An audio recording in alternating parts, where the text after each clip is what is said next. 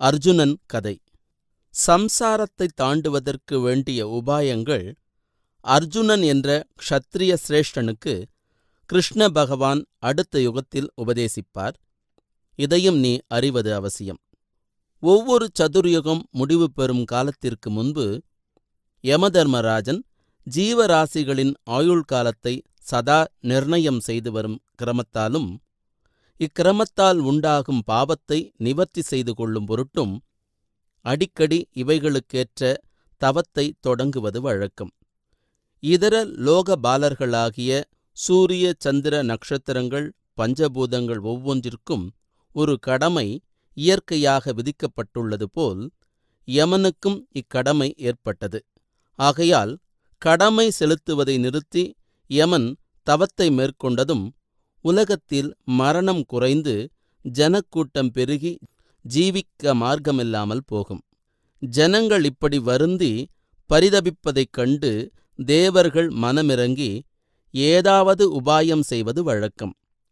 அதாவது ஸ்ரீராமன் நாராயணனையே ஏதாவது யுக்தி செய்யும்படி வேண்டிக் கொள்வார்கள். இதற்கு இணங்கி நாராயணன் ஞான சரீரத்தைக் கொண்டு ஸ்ரீகிருஷ்ணனாகவும் இன்னொரு சரீரத்தைக் கொண்டு அர்ஜுனனாகவும் அவதரிப்பார்.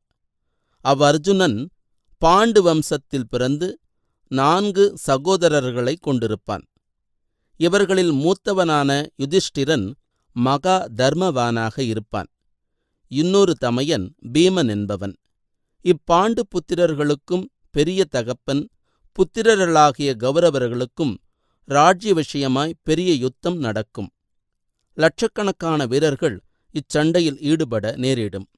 யுத்த களத்தில் சண்டை செய்ய தயாராக நிற்கும் சேனைகளுக்கு ஊக்கம் கொடுப்பதை விட்டு அர்ஜுனன் தன் எதிரில் குருக்கள் பந்துக்கள் மித்திரர்களும் இருப்பதைக் கண்டு சோகமடைந்து எடுத்த வில்லை நழுவவிட நேரிடும். இவ்விதமான சந்தர்ப்பத்தில் அர்ஜுனனுக்கு சகாயமாய் சாரத்தியம் ஏற்றுக்கொண்ட கிருஷ்ணன் சிஷ்யனுக்கு ஞானோபதேசம் செய்து அவனுக்கு விதித்த கர்மத்தை ஏற்றுக்கொள்ளச் சொல்லி சண்டையில் ஈடுபடும்படி ஆக்ஞாமிப்பார் இந்த ஞானோ உபதேசத்தை நீயும் கேட்பாயாக. பகவான் உபதேசம். அர்ஜுனா நீயாக உன் எதிரிகளை கொல்லப்போவதாக நினைப்பதும் அவர்கள் கொல்லப்படுவோம் என்று நினைப்பதும் வெறும் அஜ்ஞானம். அவர்களும் நீயும் ஒரே ஆத்மாவாக இருக்க யார் யாரால் கொல்லப்பட முடியும்? ஆதி அந்தம் இவ்விரண்டிற்கும் இடையேயும் கூட ஆத்மா ஒன்றுதான் நித்தியமாயும் சத்தியமாயும் இருப்பது.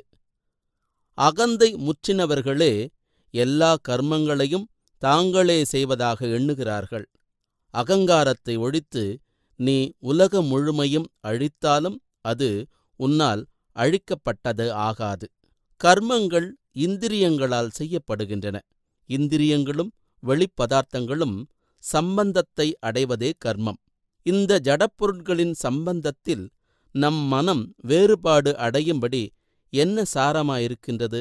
இவ்வித நோக்கத்துடன் அதாவது அகங்காரமும் இச்சையுமின்றி கர்மங்கள் கேவலம் இந்திரியங்களால் செய்யப்பட்டால் அப்பொழுது கர்மத்தை செய்கிறவன் கர்த்தா ஆகமாட்டான். கர்மங்களை செய்வதில் தோஷம் ஒருபொழுதும் இல்லை தோஷம் ஏற்படுவது அகங்காரத்தாலும் இச்சையாலும் சண்டை செய்வது உன் குலதர்மம். இதன் பலன் எவ்விதமாயினும் உன்னை பாதிக்காது. ஆகையால் பலனை கருதாமலும் கர்மத்தில் இச்சை வெறுப்பு இல்லாமலும் நீ உன் குலதர்மத்தை செய்வாயாக. எல்லா விவகாரங்களையும் ஈஸ்வரார்ப்பணம் செய். பகவான் சத்சங்கம் ஈஸ்வர அர்ப்பணம் சந்நியாசம் என்பவைகள் என்னவென்றும் ஞானம் யோகம் என்ற இரு மார்க்கங்களையும் பற்றியும் எனக்கு விவரித்து சொல்வீராக என்று அர்ஜுனன் கேட்க அதற்கு பகவான் வாசனைகளால் ஏற்படும் மனோ சஞ்சலத்தை முழுவதும் ஒழித்து புதிய சங்கல்பமுமின்றி இருப்பதே பிரம்ம பதவி எனப்படுவது. இதை அடைவதற்கு செய்ய வேண்டியது ஞானமென்றும் யோகமென்றும் வழங்கப்படும். ஜெகத் முழுவதும் பிரம்மமே. பிரம்மத்தை தவிர்த்து வேறொன்று இல்லை என்று பாவித்திருப்பதே பிரம்மார்ப்பணமென்பது. உள்ளும் சூன்யமாகவும் புறமும் சூன்யமாகவும் இருந்து பாறையின் மத்திய பாகத்தைப் போல் மனம் கெட்டியாயும் சமமுமாயிருந்து உணர்வோன் உணர்ச்சி என்ற பாவமும் நீங்கி இருத்தலே பரம பதவி என்பது. இவ்வித சூன்யத்தில் ஆகாயம் போல் சூன்யமாகவும் நிர்மலமாகவும். கோடியில் ஒரு அம்சம் போல் சற்று வேறாகத் தோன்றுவது ஜகத்.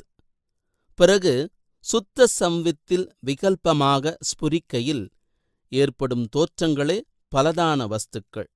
இதை உணர்ந்து பேதங்களைத் தள்ளி பலனில் நோக்கமின்றி கர்மங்களைச் செய்து வருவதே சந்நியாசம் எனப்படும். சங்கல்பங்களை முற்றிலும் ஒழித்திருப்பதே சங்கத்தியாகம். தங்களுக்கு இரண்டு ரூபம் இருப்பதாக சொல்லப்படும் இவைகளில் எதை பின்பற்ற வேண்டுமென்பதை தெரிவிக்கவும் என்று அர்ஜுனன் கேட்க அதற்கு பகவான் ஆம் சங்கு சக்கரம் தரித்து நாம ரூபம் வைத்த சாமானிய சொரூபம் ஒன்று ஆதி அந்தமின்றி எல்லா சப்தங்களுக்குச் சாரமாயும் ஒன்றாய் விளங்கும் பரமரூபம் மற்றொன்று. அவரவர் திறமைக்கேற்ற ரூபத்தை பின்பற்றலாம். ஆனால் பரம ரூபத்தை அனுசரித்து இருப்பவர்களுக்கு மறுபிறவி கிடையாது. இப்பரத்தத்துவம் தெளிவுபடும் வரை சாமானிய வடிவத்தை பூஜிக்கலாம். அர்ஜுனா மேலும் சொல்வதைக் கேள். உன் முன்னேற்றத்தைக் குறித்து பரமமான தத்துவத்தைச் சொல்லுகிறேன். நம்முடைய உணர்ச்சிகளாகிய சுகம் துக்கம் குளுமை சூடு என்பவைகளெல்லாம் கணமாத்திரமானவைகள் பிறகு இவைகள் மறைந்து விடுகின்றன. ஆகையால் இவைகளை பொறுத்தல் வேண்டும். இந்த பேதங்கள் ஏற்படுவதற்கு காரணம் ஆத்மா சர்வ வியாபியாய் இருப்பதாலே. அனாத்மாவாக இருக்கும் இவ்வுணர்ச்சிகள் ஆத்மாவை எப்படி பாதிக்கும்? அனாத்மாவாக இருப்பவைகளைத்தான் ஒட்டும்.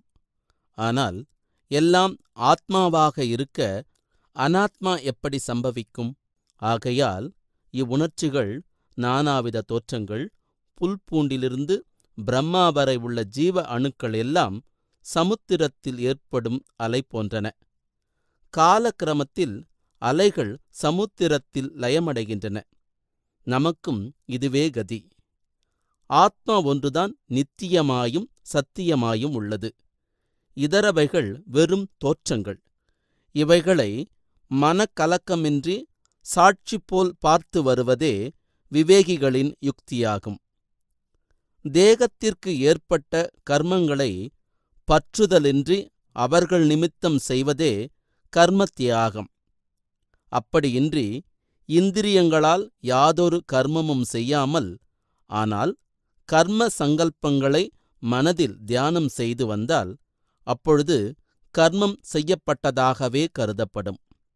ஆகையால் நீ விதிக்கப்பட்ட கர்மங்களை செய்யாமல் இருக்கக்கூடாது. இச்சை பலன் எல்லாம் ஒழித்து நீ உன் குலதர்மத்தைச் செய்வாயாக.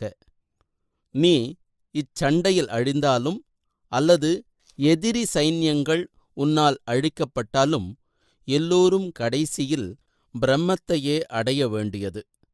ஆகையால் ஏன் உனக்கு இம்மனத்தளர்ச்சி